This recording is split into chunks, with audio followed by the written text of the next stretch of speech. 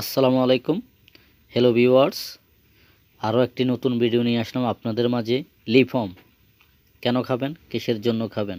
Lipon সিমিডিকন paediatric ডব এটি হলো বাচ্চাদের অনেক সময় পেট ব্যথা হয়ে থাকে। বাচ্চা কান্না করে।